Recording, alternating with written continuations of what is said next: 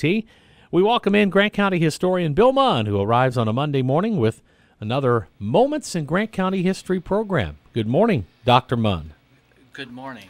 Good morning. I'm doctor of something or. Well, after a while, you've been on this Well, program long enough. We have the authority to I see. give you Oh, you've a conferred. You got an PhD honorary doctorate from Good Morning Grant County. or a not so honorary. I don't know. You know, with from this and show. I shall give my uh, accept. No, no. Yeah. Uh, yeah, if elected, I will not serve. yeah. exactly. You, you, yeah, your plaque and your check are in the mail for that, by the way, Bill. Was it? Was it? Uh, was it Groucho Marx that made the, the famous statement about "I refuse to belong to any club that would have me as a member"? yeah, that's That was true. Groucho. Yes. I never heard of anything so ridiculous. in all Oh my my life. Uh, Okay. I figure since this is, you know, we're we're we're approaching Halloween, and um, you know, I was casting about for things to to to bring to to the show this morning.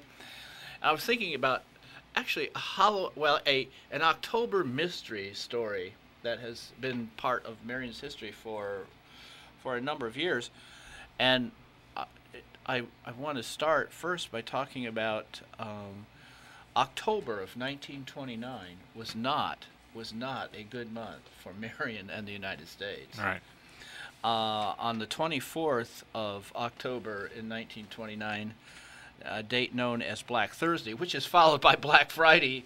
Which is today. which- The- y- to- today yes. is the anniversary Yes. of, of the uh, crash in Um, the the stock market on Thursday lost 11% of its value. Oh.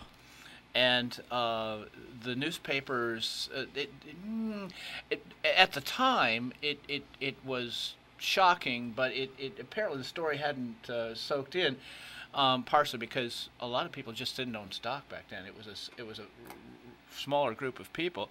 But on the 25th was actually given as the day of the actual collapse.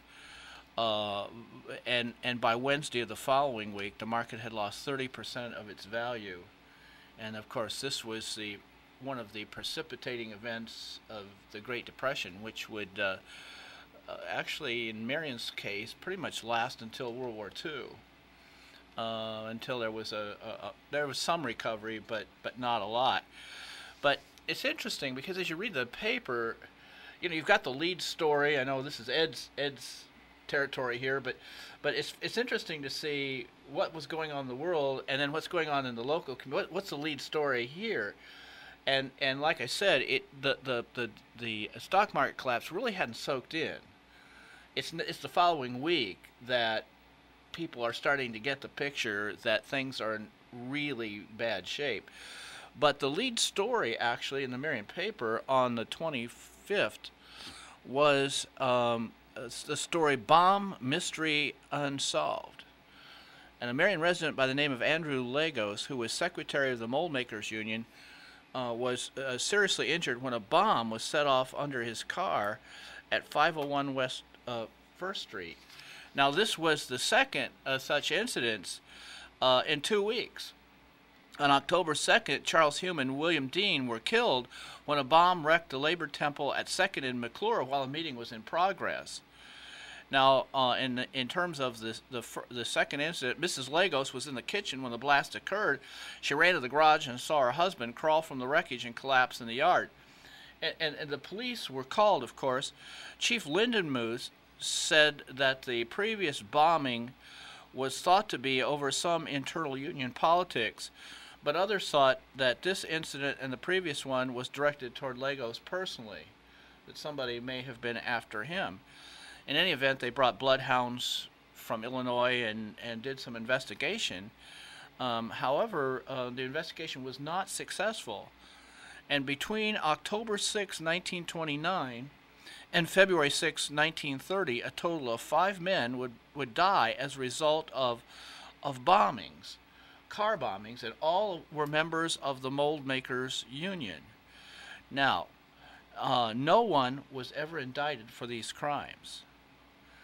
And uh, while there were there were five suspects, they were all um, the charges were dismissed against all of them. So there was no there was no indictment.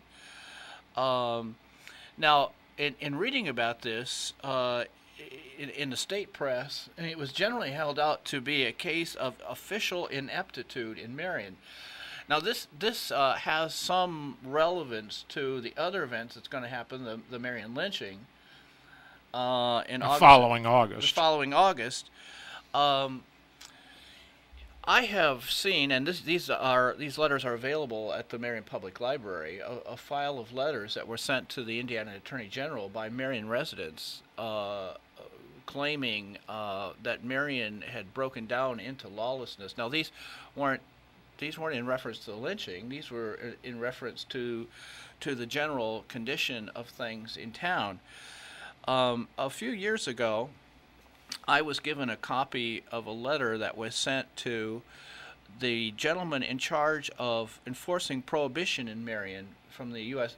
The, prohibition agents were employees of the Treasury Department, U.S. Treasury Department, and one agent was assigned to Marion.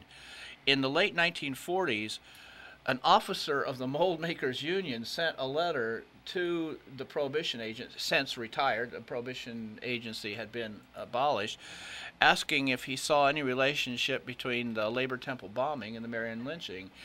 And his reply was yes, that there was, but that he did not. He reported the matter to Washington, D.C., but there were a couple of problems. One is that lynching was not a federal crime at the time and would, would, would have been exclusively the responsibility of uh, Grant County and the state of Indiana. Um, and and secondly, uh, he was told by the agency in Washington to drop it. Uh, but he, you know, as far as any evidence, it was not mentioned in the letter. This was this was ten or fifteen years after the thing. So, the Marion Labor Temple bombing still still remain. Uh, So are, are you assuming that the link that he saw was just simply incompetence in law enforcement? Or It, implied in the letter, though, there was some sort of criminal conspiracy going on, a general Oh. cr- criminal conspiracy. Um it, the, w- one of the issues, for example, was the last bombing that happened in November happened almost diagonally across from the from the Grant County Jail, Mhm. And that there there there was the, the, feeling, the sentiment at the time was, and, and some of the letters that were sent to the Attorney General was that um, implicating officials in violation of the Prohibition Act, and that this was leading to uh, to to violence and to uh, criminality. So uh, again, a, a an unsolved an unsolved mystery. A lot of speculation, and, uh, and you know, let's face it, a lot of this is is speculation. Right. And and uh, by the way, those complaints weren't anonymous. I mean, they were signed signed complaints. But um, I don't know if there's anybody out there that has any evidence uh, regarding the Labor Temple bombings. Uh, I'm sure we'd like to we'd like to see it. On a lighter note, we asked a few weeks ago if any of our listeners had participated in the outhouse burnings in Bucktown. And so far, there's no one has stepped forward. These are this is another Marion mystery. Uh, however, um, I w- would like to hear from anybody. Uh, I'm sure they can call in and share share their. Do you do you think anyone is going to incriminate himself or herself? The Fifth Amendment kicks Yes. in here. Well, I would. I, it seemed to me that it was a matter of pride uh, for folks in, in that, that particular area of town. So if you have if you have either participated or witnessed, now the statute of limitations has obviously has obviously. Well, are you are you willing to accept reports from snitches? I mean, people who Oh. will just blatantly sell out their childhood friends.